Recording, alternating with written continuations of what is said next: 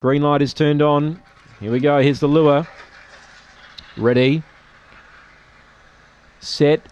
And away. A 12 Demur, there it goes. Flies out, led. The favourites back last early, going to second. Gibbaloni's chasing hard and looks a big threat. Two lengths to Liquid Club running on. Behind them, Gigalica Boom from Finally Booming.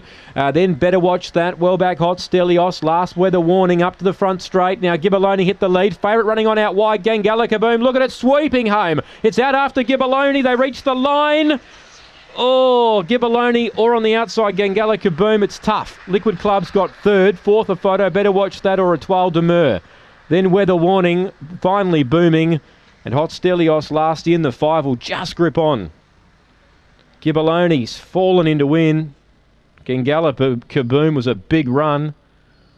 It's come from last. It's swept around the outside. It's loomed up and it's gone down very narrowly here.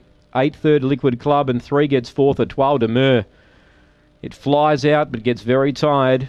10.08 the first split, 12.74 the run home. Gibbaloni for Edward Wood moved up, hit the lead.